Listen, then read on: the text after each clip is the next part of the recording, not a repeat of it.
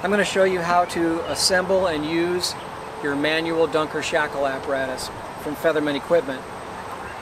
The tripod has two slots that fit into the lip of the scalder like that and then there's a tab here that sits in the corner and then this lever here locks the tripod in. Very, very simple.